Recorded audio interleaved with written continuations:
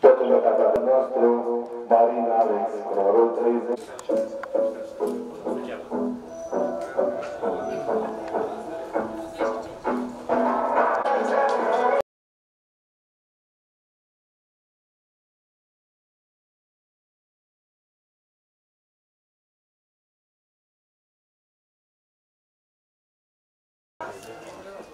Dar datorită mie ai avut și fata noroc. Altfel nu a venit fata. Așa că... Dar nici nu comentez. Așa.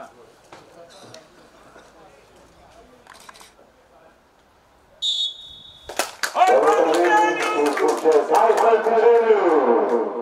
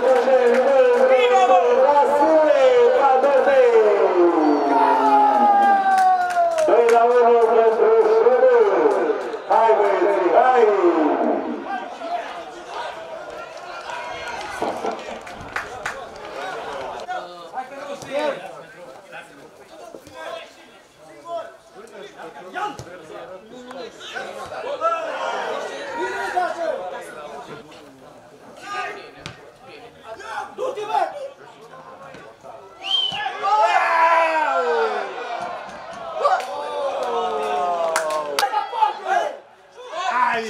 Ai! Așa! Hai,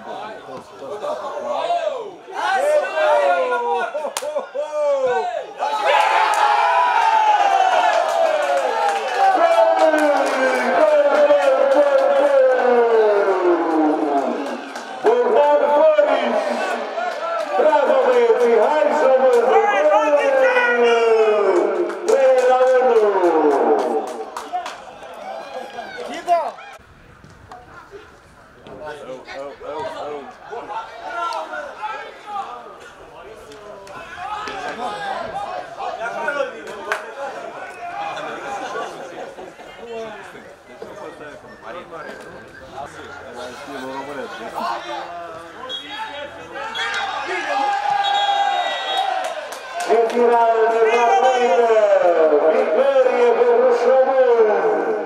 O victorie ucită, victorie pe care băieții noștri și echipa A fost un meci, uh, să zic eu, uh, echitabil, un pic uh, echilibrat. Am intrat cu dăruință, ne-am dorit acest meci, muncim de câteva săptămâni bune, ne pregătim și datorită grupului am reușit să câștigăm în această zi. Tu dai berea în vestiar? O dau eu astăzi și data viitoare o dau tot eu.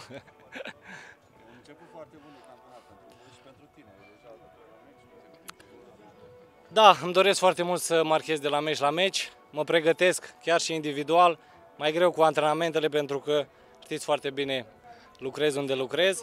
Și da, ne dorim, ne dorim uh, un loc cât mai sus, de ce nu să ajungem uh, acolo sus pe locul întâi și să mergem la baraj. O echipă puternică, masivă, care muncește și își dorește și ei de la meci la meci să ajungă cât mai sus. Noi ne dorim să câștigăm și miercuri, ne pregătim și cu multă muncă și dăruire vom câștiga și miercuri. Mai aveți doi pași și aduceți o echipă de lângă întâi. Unde vor sta oamenii aici? Pe bloc? Până unde vor sta? Noi ne dorim să, să se schimbe puțin regulile cu acest virus care ne-a îndepărtat suporterii. Eram un pic mai buni, să zicem, un pic uh, mai concentrați. Ei ne ajută, sunt uh, un al 12-lea jucători și să sperăm să vină un număr cât mai mare, să se păstreze un pic distanța și să fie alături de noi. Tu a zis domn primarul în vestiar? Am văzut că a intrat. Uh, Nu ne-a spus nimic uh, despre acest lucru cu suporterii, ne-a felicitat, este alături de noi și îi mulțumim foarte mult pentru tot sprijinul. Nu ne surprinde pentru că și ei sunt uh, un adversar uh, foarte bun. Știți cum e, dacă îți dorești puțină muncă și echipă, orice este posibil și oricând poți surprinde și să câștigi. E mai ușor în echipament sau în uniformă militară? E ușor și în uniforma militară și în, uh, în echipament dacă ești pregătit și muncești de la zi la zi. Înainte de a discuta despre meci, vreau ca să îl încurajez pe Dorin Goian și să-i urez să intre cât mai repede înapoi pe banca de rezerve și să se însănătoșească cât mai repede. Legat de joc, da, e, mă așteptam, pentru că știu pe cine, pe cine pregătesc. E, Marea majoritate nucleul am avut anul trecut. Am făcut e, câteva câteva transferuri acolo unde aveam nevoie și, și s-au văzut. Dar nu uitați că și golul, chiar și golul de astăzi au fost date de jucătorii care am avut anul trecut. Ceilalți care le-au înlocuit, le-au înlocuit cu brio, ne ajută să ajungem cu mai mare ușurință în fața porții. Este exact ceea ce ne lipsea anul trecut. Ne apăram bine, dar uh, aveam dificultate pe faza, pe faza ofensivă. Acum, în schimb, uh, am echilibrat puțin cele două faze. Ați fost foarte inspirat cu introducerea lui Vasile Padove la pauză? Uh, Am fost inspirat, îi cunosc pe cei de la Suceava. uh, Zapato a fost uh, primul atacant, era un atacant de sacrificiu, un atacant care trebuia să să-i hărțuiască pe cei pe- de pe spate, iar a doua repriză trebuia să vin cu acel plus pe fază ofensivă, care este Padovei. E- Da, asta am lucrat. Ce părea un obiectiv îndrăznesc la începutul sezonului, o plasare între primele două locuri, pare acum la jumătatea turului că Da, ei sunt, da suntem, suntem pe drumul cel bun, dar încă nu, nu putem să, să spunem că uh, acolo ne vom clasa. Acolo vreau să, să ajung în primele două. Uh, pentru asta muncim. Mai aștept încă un transfer. O să vedeți că o să, o să mai avem încă un transfer și de de atunci o să trebuiască să începem să, să ne stabilim uh, mai precis obiectivele. Dar în momentul ăsta e ok așa. Vă permiteți să luptați pe două fronturi, așa și în Cupa României? Da, este, um, um, este exact subiectul pe care l-am discutat în, acum două, trei minute cu preparatorul fizic. L-am rugat frumos să se concentreze bine, să vedem cum reușim să gestionăm această săptămână, pentru că este o săptămână foarte, foarte grea. Mm, Încercăm să o gestionăm cât mai bine. Depinde foarte mult de Suceava ce obiective au în Cupa României. O să vedem, o să vedem. Mm, Noi încercăm să o gestionăm cât mai bine această perioadă, această săptămână. Veți striga un vestiar de bani, să vină banii la... Uh, Da, da. uh, Odată cu... O, nu, situația financiară este foarte, foarte ok. la ceea ce ne-am propus noi. Nu avem întârzieri, nu avem absolut nicio problemă din punctul ăsta de vedere, dar uh, oamenii din Fălticeni, văzând că au început să vină rezultatele, uh, au început să apropie mai mult de, de echipă și atunci uh, avem uh, câțiva oameni de afaceri care s-au apropiat de echipă și vor să ne ajute. Despre vă lipsesc spectatori. Da, da, da, asta, asta este pentru toată lumea. E adevărat, uh, ați văzut și astăzi că uh, pe tribuna 2, care nu ne aparține, au început să vină din ce în ce mai, mult, mai, mai multă lume. Eu am primit o grămadă de telefoane care mă rugau ca să, să-i ajut să ajungă la meci, să vadă meciul în, uh, în direct și n-am putut, dar cu ajutorul vostru, cu ajutorul media, am reușit să facem, nu? O, să dăm meciul în direct, nu? Pentru că am primit mesaje că au văzut meciul, chiar și fratele meu din, din Italia îmi, îmi spunea că au trăit cu emoții acest joc. Să vedem aici lumea pe blocuri la Cupa României, mai aveți doi pași și practic ar trebui să vină echipă direct întâi. Da, dar nu, nu, nu, nu. Sunt, mai sunt doi pași, dar sunt doi pași grei. Nu uitați Suceava, cu tot respectul pentru Miroslava, Suceava are echipă. Este o echipă și cred eu că va arăta altcumva. Trebuie să aveți puțină răbdare și vă garantez că Suceava este o echipă foarte, foarte puternică.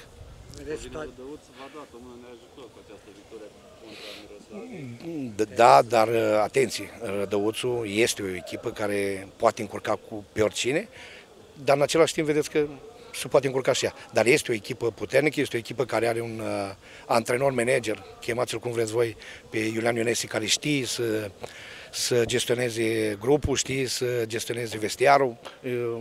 Eu zic că acolo va fi o nucătare pentru, pentru toată lumea. Este o nouă victorie pentru noi, o victorie muncită.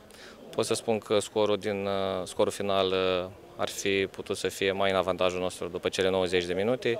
Felicit echipa pe această cale și, cum a spus și dumneavoastră, continuăm lupta pentru a termina primele două echipe în clasament. Acesta este obiectivul și cred că astăzi am făcut un pas foarte important pentru a ne putea îndeplini acest obiectiv. Într-adevăr, la începutul campionatului am avut obiectiv, avem, am avut ca obiectiv campionatul și Cupa României și ne menținem această declarație.